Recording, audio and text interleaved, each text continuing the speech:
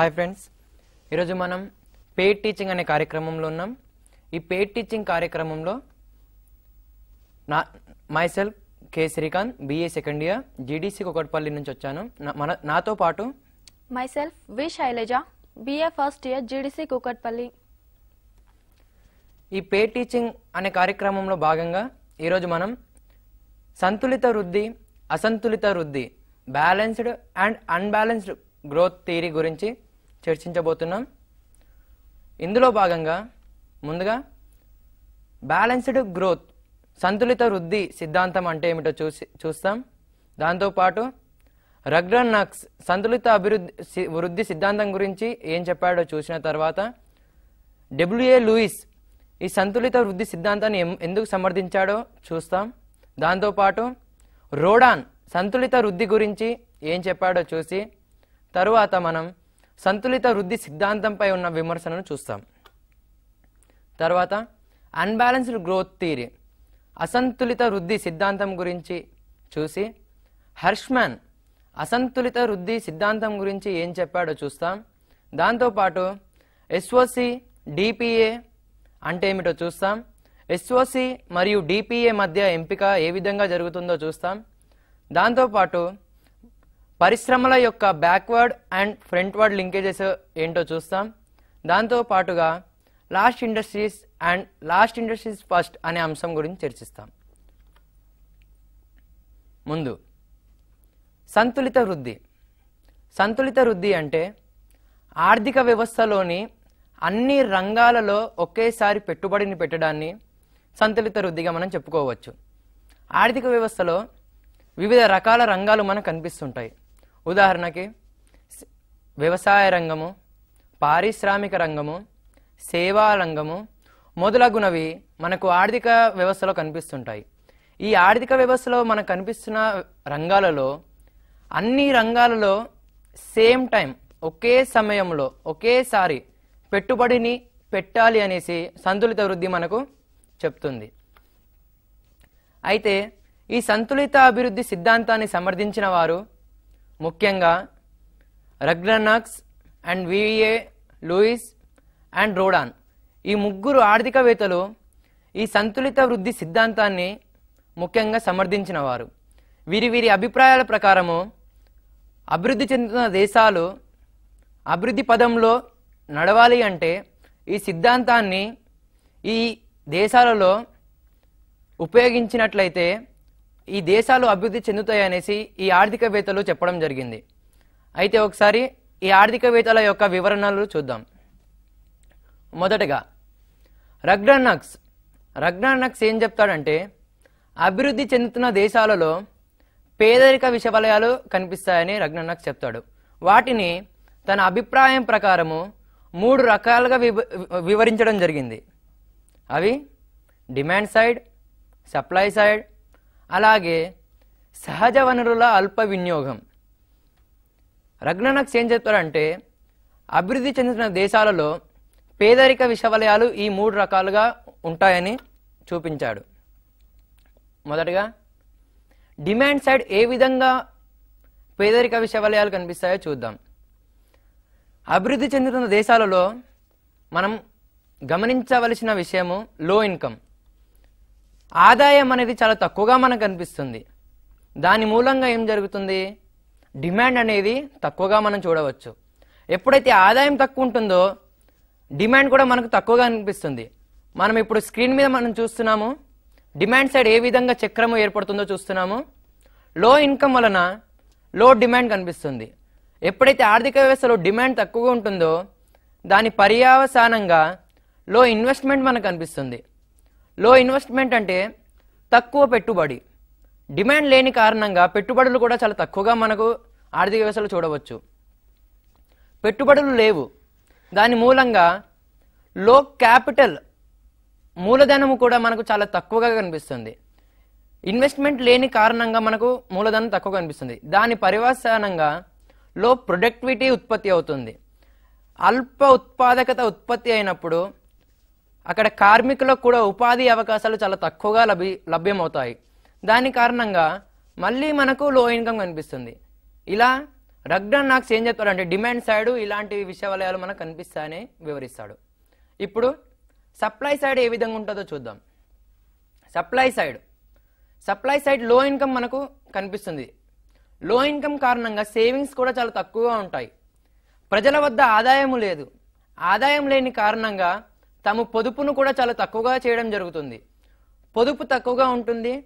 దాని కారణంగా ఇన్వెస్ట్మెంట్ కూడా తగ్గుతుంది. ఎప్పుడైతే మనం పొదుపు చేస్తామో బ్యాంకులలో ఆదాయం సమకూరి దాని ద్వారా అది మూల పెట్టుబడిగా మారుతుంది. మన దగ్గర ఆదాయం లేని కారణంగా పొదుపు చేయడం జరగదు. దాని మూలంగా ఇన్వెస్ట్మెంట్ తక్కువ తక్కువగా మనకు అనిపిస్తుంది. ఇన్వెస్ట్మెంట్ లేని కారణంగా క్యాపిటల్ కూడా మనకు కనిపించదు. క్యాపిటల్ చాలా తక్కువగా ఉంటుంది. క్యాపిటల్ తక్కువగా ఉండడం వల్ల ప్రొడక్టివిటీ చాలా తక్కువగా ఏర్పడుతుంది. సేమ్ అలాగే డిమాండ్ సైడ్ ఎట్లా ప్రొడక్టివిటీ తక్కువ ఉంటుందో ఇందులో కూడా ప్రొడక్టివిటీ తక్కువ ఉండడం వల్ల తక్కువ కార్మికులకు ఉపాధి లభ్యత కల్పిస్తుంది. దాని ద్వారా మళ్ళీ ఆదాయం తగ్గుతుంది. అలాగే ఇప్పుడు సహజ వనరుల అల్ప వినియోగం. సహజ వనరుల అల్ప వినియోగం. అభివృద్ధి చెందుతున్న దేశాలలో సహజ వనరులు ఉన్నప్పటికీ కూడా వాటిని ఉపయోగించుకోవడానికి అయ్యే వ్యయము చాలా అధికంగా ఉంటుంది. తద్వారా అభివృద్ధి చెందుతున్న దేశాలు వాటి యొక్క ఉపయోగాన్ని తగ్గించడం జరుగుతుంది. వాటి యొక్క ఉపయోగం వలన వచ్చే లాభము కన్నా వాటిపై పెట్టే ఖర్చు అధికంగా ఉండడం వల్ల ఖర్చు పెట్టలేకపోతారు. దాని ద్వారా సహజ వనరుల అల్ప వినియోగం జరుగుతుంది. దాని మూలంగా సేమ్ ఇందాక చెప్పినట్లే సహజ వనరులను తక్కువ ఉపయోగించడం ద్వారా ఆదాయం తక్కు- తక్కువగా ఉంటుంది ఆదాయం వల్ల మూలధనం తక్కువగా ఉంటుంది. మూలధనం ద్వారా మనకు మళ్ళీ ప్రొడక్టివిటీ కూడా తక్కువ అవుతుంది. దాని ద్వారా నగ్న రగ్న నాక్స్ ఏం చెప్తారంటే ఈ మూడు రకాలుగా అభివృద్ధి చెందుతున్న దేశాల్లో పేదరిక విషయాలు ఏర్పడతాయని తన అభిప్రాయాన్ని వెల్లడించాడు.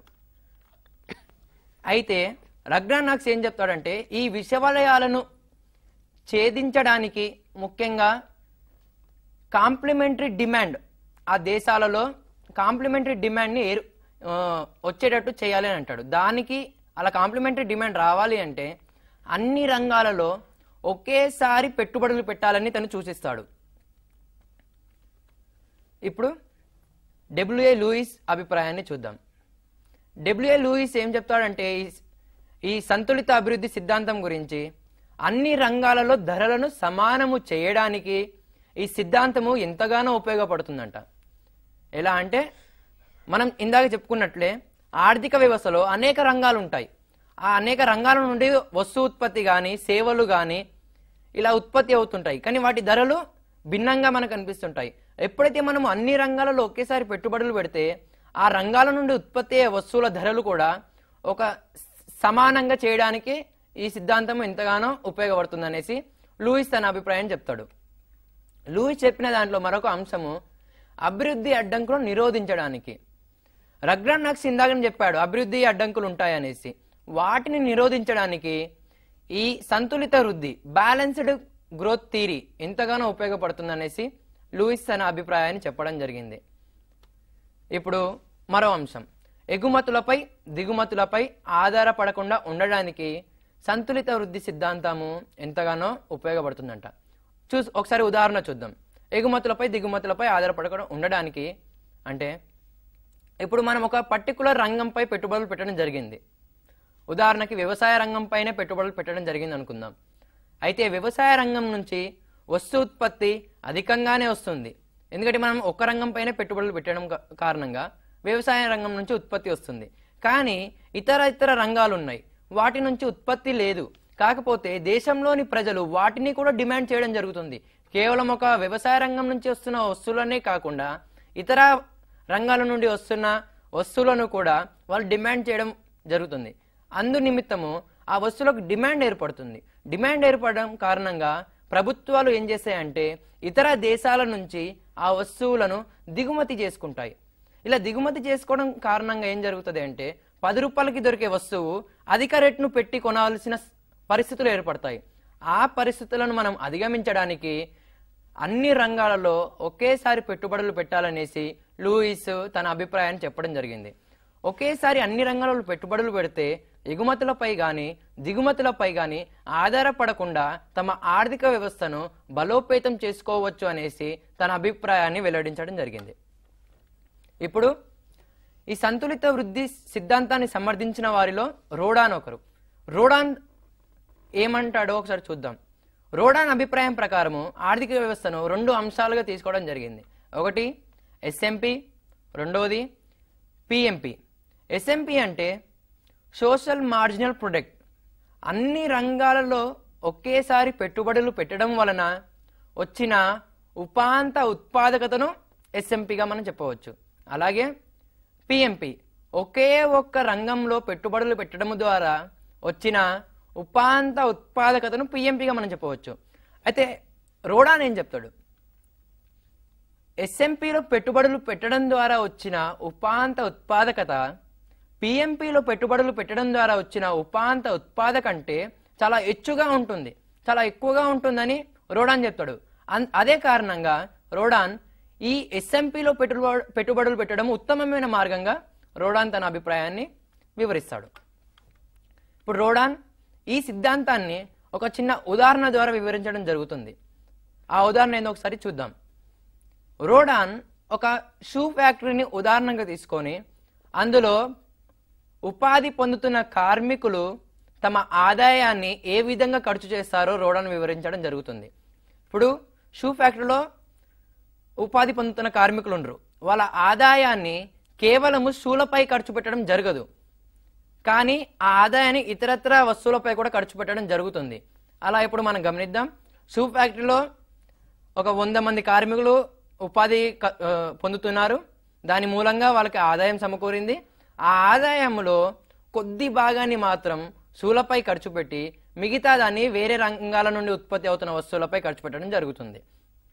అయితే ఇక్కడ షూ ఫ్యాక్టరీలో ఉత్పత్తి అయిన వస్తువులకు ఆ కార్మికులు కొద్దిగా మాత్రమే డిమాండ్ చేయడం వల్ల ఆ షూ ఫ్యాక్టరీలో ఉత్పత్తి అవుతున్న వస్తువులకు మార్కెట్లో డిమాండ్ ఏర్పడదు. అయితే ఇంకో ఉదాహరణలు ఏం చెప్తాడంటే ఈసారి ఒక్క రంగంలో కాకుండా ఈసారి అనేక రంగాలలో ఒకేసారి పెట్టుబడులు పెడదాం అని చెప్పి ఒక కొన్ని రకాల రంగాలలో ఒకేసారి పెట్టుబడులు పెట్టి ఈసారి వంద మంది కాకుండా వెయ్యి మందికి ఉపాధి కల్పిస్తాడు. వెయ్యి మంది ఉపాధి కల్పిన కల్పించినప్పుడు ఆ వెయ్యి మంది ఒక్కొక్క రంగాలలో పనిచేస్తుంటారు. ఒక్కొక్క రంగంలో వంద వంద మంది పనిచేస్తుంటారు అనుకుందాం. ఆ వంద వంద మందికి వస్తున్న ఆదాయాన్ని ఒక రంగంలో ఉత్పత్తి అవుతున్న వస్తువులపై వాళ్ళు పనిచేసే రంగంలో ఉత్పత్తి అవుతున్న వస్తువులపై కొంత భాగాన్ని వెచ్చించినప్పటికీ ఇతర రంగాలలో ఉత్పత్తి అవుతున్న వస్తువులపై ఇంకో వాళ్ళు మిగిలిన భాగాన్ని వెచ్చించడం జరుగుతుంది. ఇక్కడ ఒక రంగం నుండి ఇంకో రంగానికి పూరక డిమాండ్ ఏర్పడుతుంది. పూరక డిమాండ్. అంటే ఒక రంగంలో పనిచేసిన కార్మికులు ఇతర రంగాలలో ఉత్పత్తి అవుతున్న వస్తువులను కూడా కొనుగోలు చేయడం వలన ఆ వస్తువులకు పూర్తిగా మార్కెట్ అనేది లభ్యమవుతుంది. మార్కెటింగ్ కూడా పెరిగింది. పెరగడం ద్వారా అన్ని రంగాలలో కూడా డిమాండ్ ఏర్పడుతుంది. తద్వారా రోడాన్ ఏం చెప్తాడంటే ఒకే సమయంలో అన్ని రంగాలలో పెట్టుబడులు పెట్టడమే ఉత్తమమైన మార్గంగా రోడాన్ తన సిద్ధాంతాన్ని సంతులిత వృద్ధి సిద్ధాంతాన్ని సమర్థించడం జరిగింది. ఇప్పుడు సంతులిత వృద్ధి సిద్ధాంతాన్ని వివరించడం జరిగింది. మనం చెప్పినట్లుగానే ఈ ముగ్గురు శాస్త్రవేత్తలు ఈ వృద్ధి సిద్ధాంతాన్ని సమర్థించడం జరిగింది. ఇప్పుడు నాతో పాటు ఉన్న శైలజ గారు అసంతులిత వృద్ధి సిద్ధాంతం గురించి వివరిస్తారు. So far Srikanth explain the balance growth which is explain by famous economics like Rodan Nurkse Lewis these to these to invest in all sector at once it is highly criticized by Evo Hirschman. He says to invest in all sector at once. AO, it is highly criticized by A.O. Hirschman. A.O. Hirschman criticized it as it is impossible to invest in all sector at once. How it is possible? It creates imbalance. It creates imbalance, unbalance. First, he says to invest in one sector at once, develop it and create unbalance. By creating unbalance, we can develop the country and its growth. It is known as the unbalanced growth strategy. Back strategy.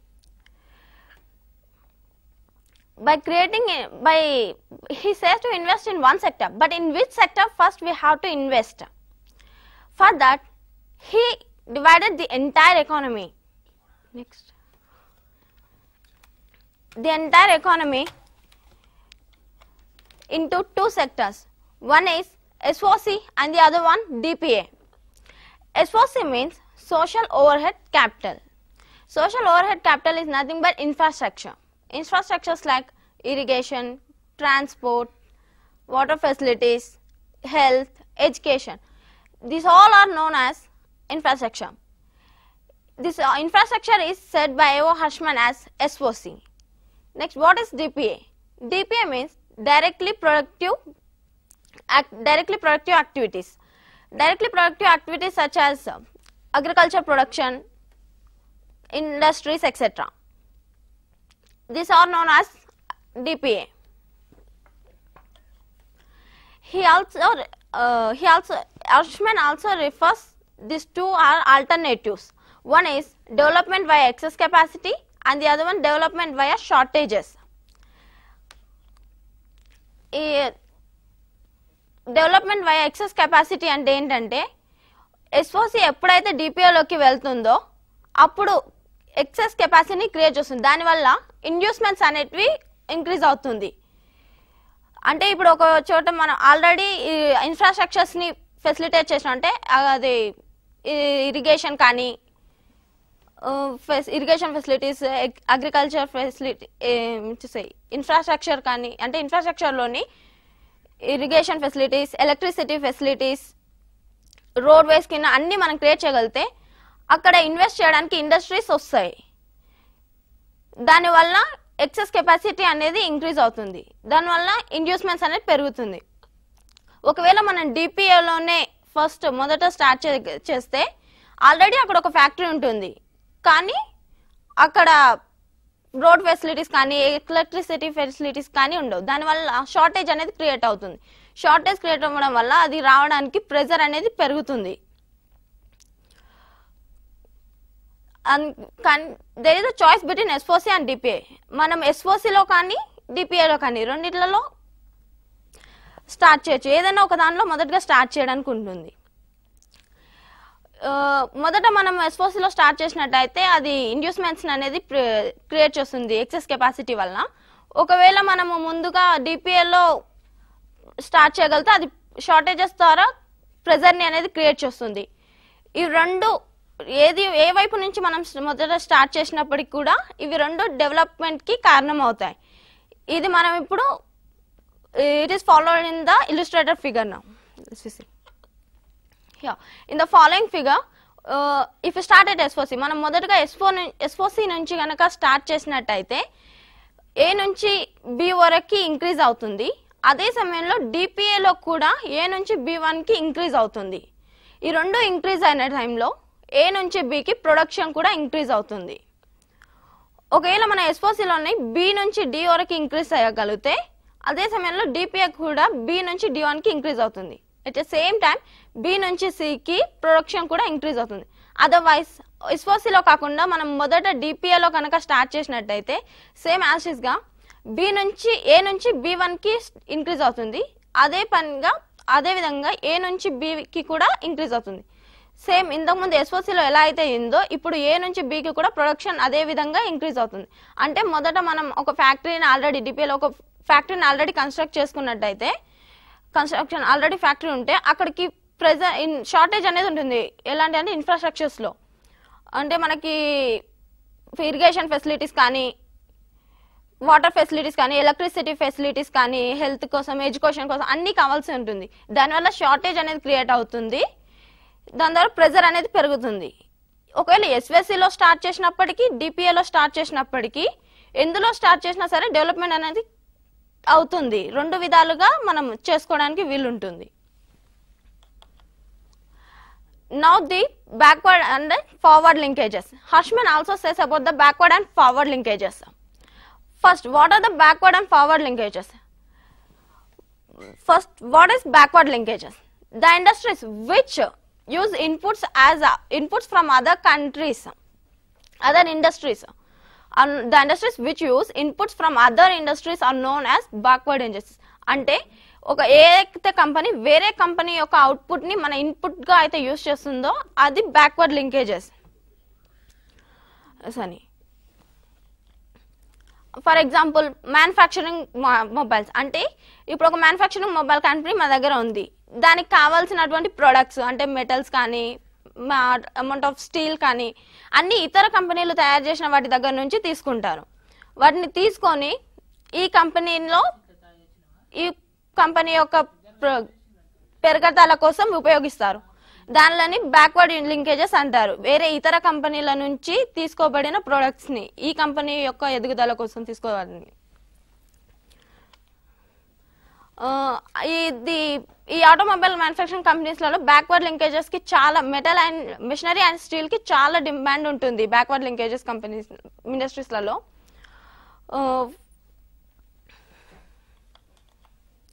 What are forward linkages మొదట ఇప్పుడు forward linkages అంటే ఏమిటి? ఇతరుల కంపెనీలకి మన company నుంచి అవుట్పుట్ని ఇతర కంపెనీల యొక్క ఇన్పుట్గా మార్చేటటువంటి కంపెనీసే ఇండస్ట్రీసే ఫార్వర్డ్ లింకేజెస్ ఉంటుంది. అంటే it it produce the output from the own own industry to the input used in other industries it is known as the forward linkages for example ఇంతకు ముందున్న automobile company in other words it is also says goods that become inputs into other industries అంటే ఇంకొక విధంగా చెప్పాల్సి వస్తే ఏవైతే ఒక goods ఇతర మన కంపెనీలో ఉన్న గూడ్స్ ఇతర కంపెనీలకి ఇన్పుట్స్గా యూజ్ అవుతున్నాయో అవే. ఫర్ ఎగ్జాంపుల్ ఎలా అంటే ఇప్పుడు ఫార్వర్డ్ లింకేజెస్ ఏంటంటే ఆటోమొబైల్ కంపెనీస్కి వచ్చేసి ఫార్వర్డ్ స్టీల్ మెషినరీ బ్యాక్వర్డ్ ఎలా ఉందో ఆటోమొబైల్ కంపెనీయే దీనికి ఫార్వర్డ్ లింకేజ్ ఉంటుంది steel and మెషినరీస్కి. According to Hirschman the linkages which are backward linkages of forward linkages which are potentially strongest it is than the appropriate one అంటే ఈ రెండు backward linkages కానీ forward linkages కానీ ఏదైనా సరే ఏదైతే అప్రోప్రియేట్ వన్ పొటెన్షియల్గా స్ట్రాంగెస్ట్గా ఉంటుందో రెండిట్లో ఒకటి ఏదై రెండు కంబైన్గా ఉండి ఏవైతే ఎప్పుడైతే స్ట్రాంగెస్ట్ ఉందో అదే అప్రోప్రియేట్ వన్ కంపెనీ అవుతుంది. అదే అప్రోప్రియేట్ ఇండస్ట్రీ అవుతుందని హర్ష్మన్ చెప్పారు. Now about the last industries Hirschman also says about the last industries first what are the last industries semi manufactured goods into the transform the industries which transform these semi manufacture goods into final goods. అంటే semi మ్యానుఫ్యాక్చర్గా సగంగా మిగిలి ఉన్న గూడ్స్ని final గూడ్స్గా తయారు చేయగలిగినటువంటి ఇండస్ట్రీసే semi manufactured goods అంటారు. వాటికి చాలా డిమాండ్ కూడా ఉంటుంది. పైగా మనం ఎలాంటి ఇండస్ట్రీస్ని చూస్ చేసుకోవాలని కూడా హర్ష్మన్ చెప్పారు. This industries last industries create the long chain of backward linkages the last industries create long chain of backward linkages అంటే ఈ లాస్ట్ ఇండస్ట్రీస్ అనేటివి బ్యాక్వర్డ్ లింకేజెస్ని ఎక్కువగా చాలా పొడుగుగా ఉంటుంది. ఎలా అంటే uh, ఫర్ ఎగ్జాంపుల్ మనకి ఇప్పుడు ఒక కంపెనీ మొబైల్ కంపెనీ ఉందని చెప్పాం. దానికోసం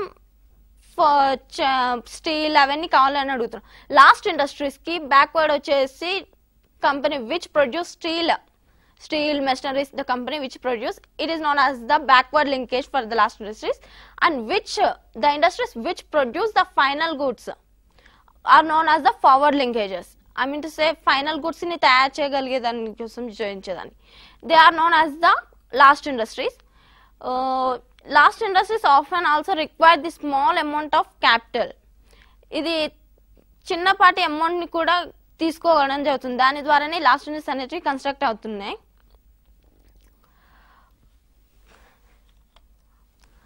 ఫర్ ఎగ్జాంపుల్ లాస్ట్ ఇండస్ట్రీస్ ఎలాంటివి తీసుకున్నారంటే ఫర్ ఎగ్జాంపుల్ పారామెడికల్ ల్యాబొరేటరీస్ కానీ మెటల్ ఫ్యాబ్రికేటింగ్ ఇండస్ట్రీస్ కానీ లాస్ట్ ఇండస్ట్రీకి ఎగ్జాంపుల్స్ ఇవి. ఎలా అంటే ఒక్కొక్క రకమైన ఒక బ్యాక్వర్డ్ వేరే ఒక ఫ్యాక్టరీ ఒక ఇండస్ట్రీ నుంచి మెటీరియల్స్ తీసుకొని ఫైనల్ గూడ్స్గా ఇవి తయారు చేస్తుంది. అంటే ఇప్పుడు ఒక పారామెడికల్ ల్యాబొరేటరీస్ అంటే రకరకాల ఇండస్ట్రీల నుంచి రకరకాల వస్తువుల్ని తీసుకుంటుంది. రకరకాల వస్తువులు అంటే ఒక కంపెనీ నుంచి టాబ్లెట్స్ ఒక కంపెనీ నుంచి దానికి కవర్స్ అట్లా అన్ని రకాల ఎక్విప్మెంట్ని తీసుకొని ఫైనల్ గుడ్ని ఇది తయారు చేయగలుగుతుంది. ఒకవేళ మనం ఒక పెన్ ఎగ్జాంపుల్గా ఒక పెన్ తీసుకున్నాం అనుకుంటే అక్కడ ఒక పెన్కి ఫైనల్ గుడ్ని తయారు చేసేది లాస్ట్ ఇండస్ట్రీ దానికోసం పెన్ క్యాప్స్ స్టీల్స్ అందులో కావాల్సిన రిఫిల్స్ అందులో కావాల్సిన వస్తువులు అన్నిటిని వేరు వేరు కంపెనీల నుంచి కొనుగోలు చేసి అది ఫైనల్ గుడ్ని తయారు చేస్తుంది. That is known as the last industries what is last industries first in developing countries first setup last industries అంటే ఇప్పుడు అండర్ డెవలపింగ్ కంట్రీస్ డెవలపింగ్ కంట్రీలలో ఎలా అంటే డెవలప్ అవుతున్న మన ఆల్రెడీ ఉన్న దాన్ని కాకుండా ఫస్ట్ లాస్ట్ ఇండస్ట్రీస్ని మనం సెట్ చేసుకోవాలి. అంటే ఎలాంటి దాంట్లో మనం ఇన్వెస్ట్ చేయాలి అనుకున్నామంటే రకరకాల ప్రొడక్ట్స్ని ప్రొడ్యూస్ చేసేటటువంటి కంపెనీ కాకుండా ఫైనల్ గుడ్ని ప్రొడ్యూస్ చేసేటటువంటి ఇండస్ట్రీని మనం సెట్ చేసుకోవాలి. అలాంటి ఇండస్ట్రీని సెలెక్ట్ చేసుకొని అందులో ఇన్వెస్ట్ చేయగలగాలి అని హర్ష్మన్ చెప్పారు. కొన్ని రకాల కంట్రీస్ అంటే కొలంబియా బ్రెజిల్ లాంటి కంపెనీలు ఫాలో అవుతున్నది ఇదే విధంగా ఫాలో అవుతున్నారు. Thank you thank you Shailaja గారు. థ్యాంక్ యూ శైలజ అసంతులిత వృద్ధి సిద్ధాంతం గురించి వివరించినందుకు ధన్యవాదములు. అసంతులిత వృద్ధి సిద్ధాంతం అంటే ఏమిటో చెప్పారు శైలజ గారు. చాలా బాగుంది. ఇప్పుడు మనం ఈరోజు మనం ఈ కార్యక్రమంలో ఏం చర్చించామో ఒకసారి తెలుసుకుందాం మళ్ళా. ముందుగా మనం బ్యాలెన్స్డ్ గ్రోత్ థియరీ గురించి చూసాం. బ్యాలెన్స్డ్ గ్రోత్ థియరీ అంటే ఎవరు? ఏంటి? బ్యాలెన్స్డ్ గ్రోత్ థియరీ అంటే ఏంటో మనం చూసాం. ఒకసారి మళ్ళీ ఒకసారి ఆ అంశాన్ని గుర్తు చేసుకుందాం. బ్యాలెన్స్డ్ గ్రోత్ థియరీ అంటే ఆర్థిక వ్యవస్థలో అన్ని రంగాలలో కూడా ఒకేసారి పెట్టుబడులు పెట్టడాన్నే మనం బ్యాలెన్స్డ్ గ్రోత్ థియరీ అన్నాం. దాన్ని తెలుగులో సంతులిత వృద్ధి సిద్ధాంతం అని అంటారు. అలాగే ఈ సిద్ధాంతాన్ని ఎవరెవరు సమర్థించారో వాళ్ళు ఏమేం అంశాలను ఈ సిద్ధాంతం గురించి వివరించారో చూసాం. ఈ సిద్ధాంతాన్ని సమర్థించిన వారిలో ముఖ్యంగా రగ్నన్నాక్స్ ఒకరు. వాళ్ళు ఈ సిద్ధాంతం గురించి ఏం చెప్పాడు అంటే రగ్నన్నస్ యొక్క అభిప్రాయం ప్రకారము ఈ సిద్ధాంతము అభివృద్ధి చెందుతున్న దేశాలలో గల విషవలయాలుంటాయి. వాటిని తీసేయడానికి ఈ సిద్ధాంతము ఎంతగానో ఉపయోగపడుతుందని రగ్రన్నక్స్ తన అభిప్రాయాన్ని చెప్పాడు. తను అభివృద్ధి చెందుతున్న దేశాలలో ముఖ్యంగా మూడు కారణాలను చూపెడతాడు. ఒకటి డిమాండ్ సైడ్ మరొకటి సప్లై సైడ్ మరొకటి సహజ వనరుల అల్ప వినియోగము యొక్క కారణాలుగా తను చూపిస్తాడు. ముందుగా డిమాండ్ సైడ్ ఏ విధంగా ఉంటుందో మనం చూసాం ఇందాక. ఏ విధంగా అంటే ఒక చక్రం వలయంగా ఉంటుంది. తక్కువ ఆదాయం ఉంటుంది. ఆదాయం ద్వారా తక్కువ డిమాండ్ ఏర్పడుతుంది. తక్కువ డిమాండ్ ఉండడం వల్ల ఇన్వెస్ట్మెంట్ కూడా మనకు ఆర్థిక రంగంలో తక్కువగా ఉంటుంది. ఎప్పుడైతే ఆర్థిక రంగంలో ఇన్వెస్ట్మెంట్ తక్కువగా ఉంటుందో ఆ దాని కారణంగా మళ్ళీ క్యాపిటల్ కూడా తక్కువగా కనిపిస్తుంది.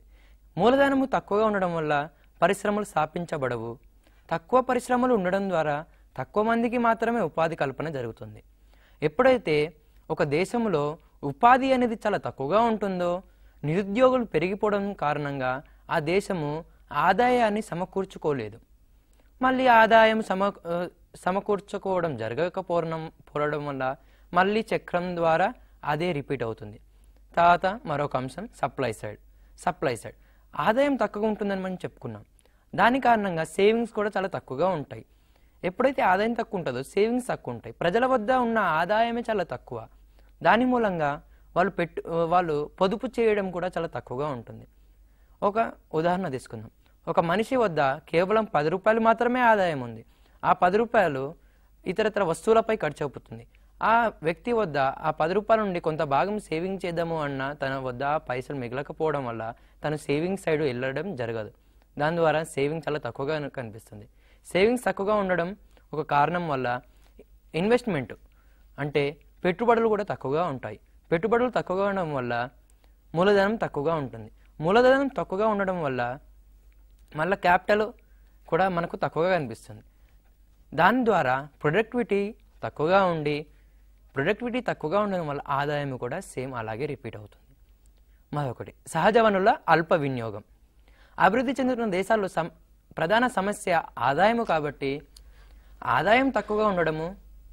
దాని కారణంగా సహజ వనరులను అధికంగా వినియోగించుకోకపోవడము మూల కారణంగా మనం చూస్తాము. ఈ విధంగా రగ్నన్నస్ తన అభిప్రాయం చెప్పడం చూసాం అలాగే విడబ్ల్యూ ల్యూస్ ఏమంటాడంటే అభివృద్ధి చెందుతున్న దేశాల్లో ఎలా ఉంటాయో రగ్న నాకు చెప్పడం జరిగింది. అలాగే లూయిస్ ఏమంటాడంటే ఈ సిద్ధాంతాన్ని సమర్థిస్తూ ముఖ్యంగా ఒక మూడు అంశాలను చెప్పడం జరిగింది. అదేంటంటే అభివృ అభివృద్ధి చెందుతున్న దేశాలు ఏ విధంగా ఉంటాయో తిను చెప్పడం జరిగింది. మొదటిది వచ్చేసి వివిధ రంగాలలో ఉత్పత్తి అవుతున్న వస్తువుల ధరలు సమానం చేయడానికి ఈ సిద్ధాంతం ఉపయోగపడుతుందని లూయిస్ చెప్పడం జరిగింది. ఏ విధంగా అంటే ఒక రంగం నుండి ఉత్పత్తి అవుతున్న వస్తువులు ధరలు ఇతర రంగాలతో ఉత్పత్తి అవుతున్న వస్తువుల ధరలను సమానం చేయడానికి ఈ సిద్ధాంతము ఉపయోగపడుతుందనేసి తన ఉదాహరణల ద్వారా తను వివరించడం జరిగింది. మరొక అంశం చెప్తాడు. ఏంటంటే అభివృద్ధి అడ్డంకులను నిరోధించడమే ఈ సిద్ధాంతం యొక్క ముఖ్య లక్షణం అంటాడు. ఎలా అంటే ఇప్పుడు రగ్న నాకు చెప్పినట్టు ఆర్థిక వ్యవస్థలో అభివృద్ధి అడ్డంకాలు ఉంటాయి. వాటిని నిరోధించడానికి ఈ సిద్ధాంతము మార్గాలను సులభతరం చేస్తుంది అనేసి డబ్ల్యూఏ లూయిస్ చెప్తాడు. మరొక అంశం తను వివరించడం జరిగింది.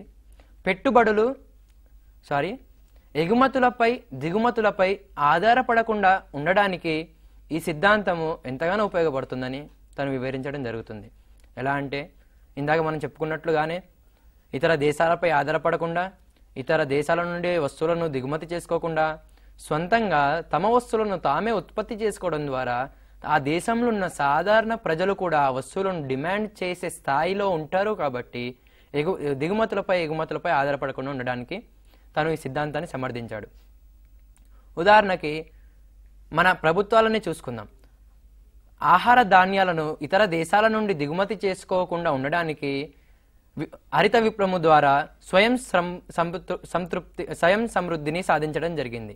అలాగే ఈ సిద్ధాంతం ఏం చెప్తుందంటే ప్రతి రంగంలో పెట్టుబడులు పెట్టడం ద్వారా అన్ని రంగాల నుండి ఉత్ప వస్తువులు ఉత్పత్తి అయ్యి ఆ దేశము అభివృద్ధి పదంలో నడుస్తుందని సిద్ధాంతం చెప్పడం జరుగుతుంది.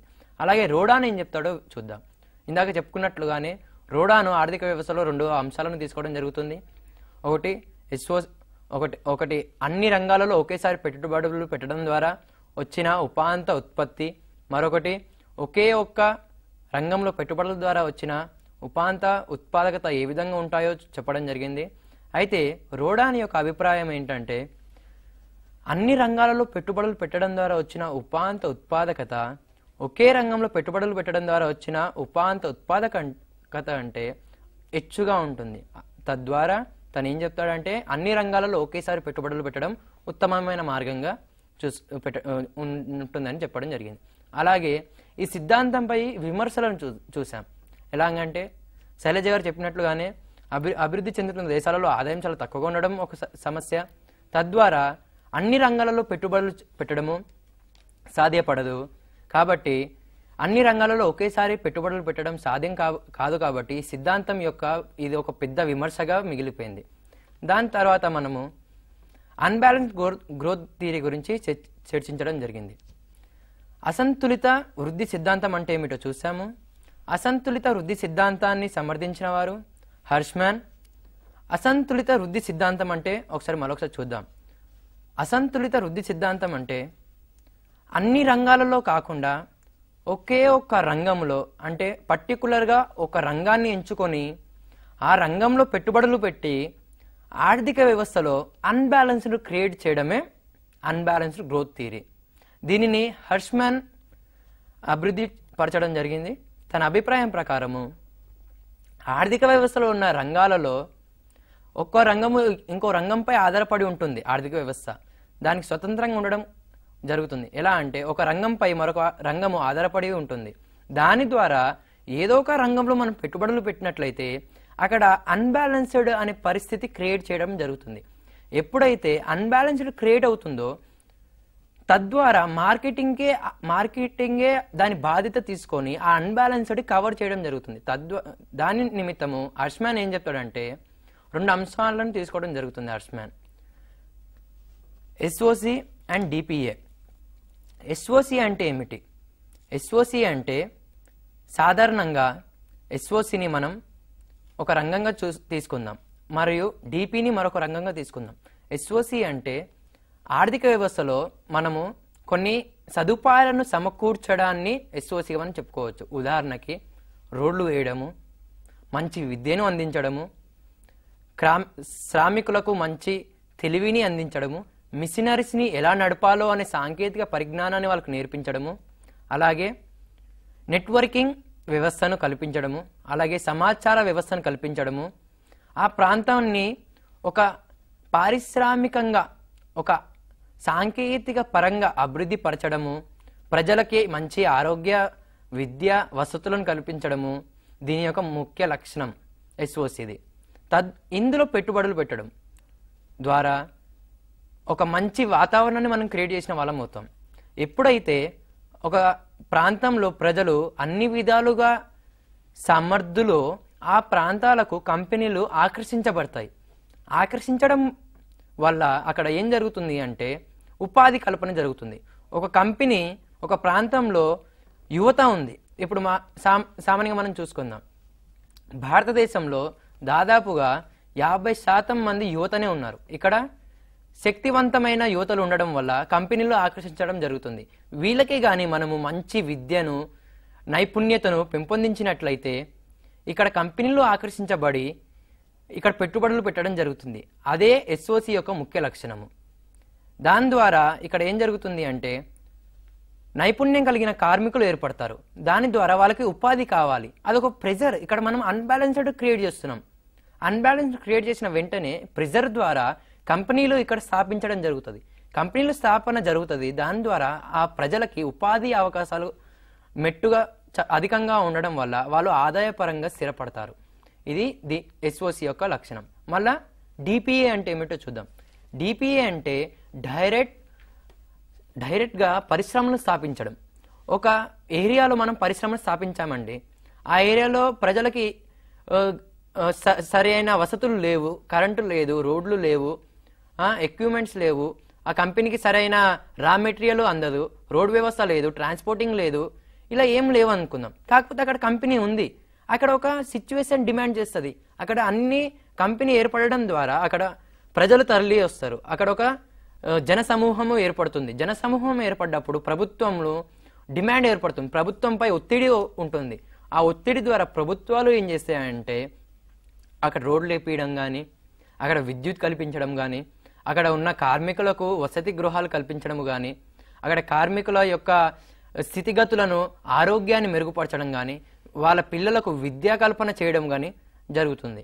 అలా ఆ ప్రాంతము అభివృద్ధి జరగడం జరుగుతుంది. అక్కడ ఏం చేస్తున్నామంటే ఒక అన్బ్యాలెన్స్డ్ క్రియేట్ చేస్తున్నాం. ఎస్ఓసిలో పెట్టుబడులు పెట్టినప్పటికీ డీపీలో పెట్టుబడులు పెట్టినప్పటికీ ఏదో ఒక అంశంపై మనం పెట్టుబడులు పెడుతున్నాం. అక్కడ ఒక అన్బ్యాలెన్స్డ్ క్రియేట్ అవుతుంది. అన్బ్యాలెన్స్డ్ క్రియేట్ అయినప్పుడు ఆటోమేటిక్గా మార్కెటే ఆ అన్బ్యాలెన్స్డ్ కవర్ చేయడం జరుగుతుంది. అయితే హర్ష్మన్ ఏం చెప్పాడంటే ఈ రెండిట్లో ఏదైనా ఒక దాంట్లో పెట్టుబడులు పెట్టడము ఒక ముఖ్య అంశము. అయితే ఇంతకుముందు మనం మాట్లాడుకున్నట్లు అన్ని రంగాలలో పెట్టుబడులు పెట్టడం కన్నా ఒక రంగంలో పెట్టుబడులు పెట్టడము ఒక మంచి ఉత్తమమైన మార్గం. ఎందుకంటే అభివృద్ధి చెందిన దేశాల్లో ఆదాయం చాలా తక్కువగా ఉంటుంది. అది ప్రధాన కార సమస్య.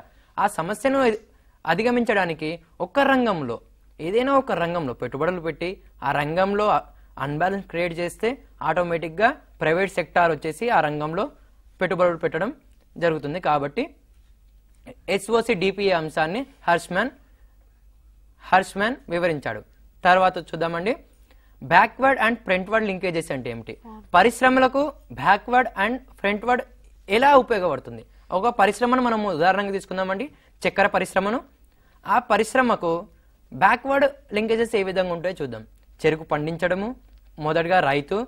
ఆ రైతు చెరుకులను పండించడము ఆ చెరుకును తీసుకొచ్చి గోదాంలో సప్లై చేయడము ఆ గోదాంలో బెల్లము తయారు చేయడము బెల్లము పాల నుండి చక్కెర రెడీ అవుతుందండి. ఇలా బ్యాక్వర్డ్ అంశాల నుండి మనకు చక్కెర రెడీ అవుతుంది. ఇప్పుడు అదే కంపెనీకి ఫ్రంట్ వాడు ఏ విధంగా ఉంటాయో చూద్దాం. ఫ్రంట్ వాడు లింకేజెస్. ఇప్పుడు చక్కెర రెడీ అయిందండి. దాన్ని మార్కెట్లోకి తీసుకెళ్ళాలి. అంటే ట్రాన్స్పోర్ట్ అవసరం. ట్రాన్స్పోర్ట్ తర్వాత దాన్ని సేల్ చేయాలి. అంటే ఒక పర్టికులర్ వ్యవస్థ అవసరం. అమ్మేవాళ్ళు కావాలి కొనేవాళ్ళు కావాలి. ఈ విధంగా ఒక ప- ఒక చక్కెర పరిశ్రమకే ఇలా లింకేజెస్ మనకు అనిపిస్తాయి. ఇంకొక ఉదాహరణ తీసుకుందామండి.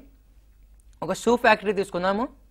షూ ఫ్యాక్టరీ అనేది ఒక ఫ్యాక్టరీ దానికి బ్యాక్వర్డ్ ఏ విధంగా ఉంటాయి ఫ్రంట్ వార్డ్ ఏ విధంగా ఉంటాయి చూద్దాము. బ్యాక్వర్డ్ వచ్చేసి తోళ్ళు షూలో షూలకు కావాల్సిన తోలు వస్తువులు అలాగే రా మెటీరియల్ ఇవన్నీ ఇవన్నీ ఒక పరిశ్రమ ఆ పరిశ్రమ కావాల్సిన స్టీలు వగేరా అవన్నీ బ్యాక్వర్డ్ లింకేజెస్ కిందకి వస్తాయండి. ఇప్పుడు ఫ్రంట్ వర్డ్ వచ్చేసి షూ రెడీ అయిందండి. ఒక అంతిమ వస్తువు రెడీ అయింది. ఈ అంతిమ వస్తువుని మార్కెట్లోకి తీసుకెళ్ళి దాన్ని సేల్ చేయడమే ఫ్రంట్ వర్డ్ లింకేజెస్ ఈ విధంగా మనకు ప్రతి ఒక్క పరిశ్రమను తీసుకున్నా ఏ పరిశ్రమకైనా బ్యాక్వర్డ్ లింకేజెస్ ఉంటాయి ఫ్రంట్ వర్డ్ లింకేజెస్ ఉంటాయి. అయితే హర్ష్మన్ ఏం చెప్తాడు అంటే ఏ పరిశ్రమలో పెట్టుబడులు పెట్టాలి అని హర్ష్మన్ చెప్తాడు. ఏ పరిశ్రమలు పెట్టాలి అన్న ఒక ప్రశ్న ఏర్పడ్డప్పుడు హర్ష్మన్ ఏమంటాడంటే ఏ పరిశ్రమ నుంచి అయితే అధికంగా బ్యాక్వర్డ్స్ ఉంటాయో ఏ పరిశ్రమకైతే అధికమైన ఫ్రంట్ వర్డ్ లింకేజెస్ ఉంటాయో ఆ పరిశ్రమలో పెట్టుబడులు పెట్టడము ఉత్తమమైన మార్గము. అంటే ఒక పరిశ్రమను మనం తీసుకున్నాం. దానికి ఆధారంగా బ్యాక్వర్డ్ లింకేజెస్ అధికంగా ఉండాలి. ఫ్రంట్ వర్డ్ లింకేజ్ కూడా అధికంగా ఉండడం ద్వారా ఒక పరిశ్రమలు స్థాపించడం ద్వారా అనేక పరిశ్రమలకు లాభసాటి జరుగుతుంది కాబట్టి హర్ష్మన్ ఏమంటాడు? ఇలా ఏదైతే అధికంగా బ్యాక్వర్డ్స్ ఉంటాయో వేటికైతే అధికంగా ఫ్రంట్ వర్డ్ లింకేజెస్ ఉంటాయో ఆ పరిశ్రమను స్థాపించడమే ఉత్తమమైన మార్గంగా హర్ష్మన్ చెప్తాడు. తర్వాత మరో అంశం మనం చర్చించామండి. దాని లాస్ట్ ఇండస్ట్రీస్ లాస్ట్ ఇండస్ట్రీస్ అంటే అంతిమ వస్తువులను ఉత్పత్తి చేయు పరిశ్రమలు. ఇప్పుడు కొన్ని పరిశ్రమలు ఉన్నాయండి. అవి కేవలము రా మెటీరియల్ని మాత్రమే సరఫరా చేస్తాయి. ఉదాహరణకు ఒక పరిశ్రమను తీసుకుందాము. ఒక పరిశ్రమ నుంచి కేవలము ఇనుము ఇతరత్ర రా మెటీరియల్ ఉత్పత్తి అవుతున్నాయండి. వాటిలో పెట్టుబడులు పెట్టడం ద్వారా అంత లాభము ఆ దేశానికి జరగదు. అయితే అర్స్మన్ ఏం చెప్తాడంటే అంతిమ వస్తువు రెడీ అయ్యే పరిశ్రమలో పెట్టుబడులు పెట్టడము ఆ దేశానికి ఎంతగానో లాభసాటిగా హర్ష్మన్ చెప్తాడు. ఉదాహరణకి ఒక చెప్పు ఇప్పుడు షూ ఫ్యాక్టరీని తీసుకుందామండి. మనం కేవలం షూ ఫ్యాక్టరీ మాత్రము స్థాపించడం జరిగింది. అయితే దానికి బ్యాక్వర్డ్ లింకేజెస్ ఏందో చూసాము. తోళ్ళు కావాలి వాటికి రా మెటీరియల్ కావాలి ఇనుము కావాలి ఒక పరిశ్రమ స్థాపించాలంటే శ్రామికులు కావాలి సాంకేతిక పరిజ్ఞానం కావాలి కంప్యూటర్స్ కావాలి మరియు దాన్ని సమర్థంగా నడపాలి అంటే వ్యవస్థాపకులు కావాలి. ఇవన్నీ బ్యాక్వర్డ్ లింకేజెస్ కింద ఇందాక మనం చెప్పుకున్నాం. అది షూ ఫ్యాక్టరీని స్థాపిస్తున్నామండి మనం. దానికి బ్యాక్వర్డ్ ఫ్రంటేజెస్ చాలా అధికంగా ఉన్నాయి. వాటన్నిటి కూడా ఉపాధి కల్పన జరుగుతుంది. వాటన్నిటి కూడా డిమాండ్ ఏర్పడుతుంది. తద్వారా ఒక్కే మనం స్థాపించేది ఒక ఫ్యాక్టరీ అయినప్పటికీ అనేక ఫ్యాక్టరీలకు కానీ అనేక సంస్థలకు కానీ అది లాభసాటిగా చేరుతుంది. వాటి డిమాండ్ని ఏర్పరచు ఇండైరెక్ట్గా అంటే పరోక్షంగా వాటికి డిమాండ్ ఏర్పడుతుందండి. అండి ఇంకోటి ఫ్రంట్ వాడు చూసుకుందాం. Marketing selling marketing. మార్కెటింగ్ మొత్తం అనేది చాలా ఎక్కువగా ఉంటుంది. దాన్ని అమ్మడానికి అనేక మందికి ఉపాధి కల్పన జరుగుతుంది. మార్కెటింగ్ పెరుగుతుంది. చాలా మందికి ఉపాధి కల్పన జరుగుతుంది. తద్వారా ఈ- లాస్ట్ ఇండస్ట్రీస్ అంటే ఏమో మనం చూసాం. అలాగే హర్ష్మాన్ ఏం చెప్తాడంటే లాస్ట్ ఇండస్ట్రీ ఈజ్ ఫస్ట్. ఏం చేయాలి? లాస్ట్ ఇండస్ట్రీస్ అంటే అంతిమ వస్తువులను ఉత్పత్తి చేయు పరిశ్రమలను మాత్రం స్థాపించడమే మొదట ఉన్న అన్- మొట్టమొదటి ప్రాధాన్యత వాటికి ఇవ్వాలనేసి అరస్మాన్ చెప్పడం జరిగింది. అరస్మాన్ చెప్పడం జరిగింది. ధన్యవాదములు. ఈరోజు మనము అనేక అంశాలను తెలుసుకున్నామనేసి నేను భావిస్తున్నాను. ఇవన్నీ మీకు ఎంతగానో ఉపయోగపడుతుంటాయి. అయితే ఇవి అనేక విషయాలను మనం తెలుసుకున్నప్పటికీ కూడా ఈరోజు మనము ముఖ్యంగా రెండు అంశాలను తెలుసుకున్నాము. అది backward and balanced and unbalanced growth theory తద్వారా ఇవి మన నిత్య జీవితంలో ఎంతగానో ఉపయోగపడతాయి. ఇందాక మనం చెప్పుకున్నట్లు ఈ థీరీస్ అనేక మంది శాస్త్ర అనేక మంది ఆర్థికవేత్తలు సమర్థించారు. అయినప్పటికీ వీటిపై కొద్ద కొంత భాగము విమర్శలు ఉన్నాయి. కానీ ఇవి ఎంత సమర్థవంతమైన సిద్ధాంతాలు కాబట్టి అర్ష్మాన్ కానీ అండ్ రోడాన్ కానీ అండ్ లూయిస్ కానీ అండ్ అనేక మంది ఆర్థికవేత్తలు వీటిని సమర్థించారు. ఈ విధంగా ఈరోజు ఈ ఈ సిద్ధాంతాలను మనం చర్చించడం జరిగింది. పేర్ టీచింగ్లో నాతో పాటు ఉన్న శైలజ గారు అన్బ్యాలెన్స్డ్ గ్రోత్ థియరీ చెప్పారు. నేను బ్యాలెన్స్డ్ గ్రోత్ థియరీ గురించి చెప్పాము. ధన్యవాదములు.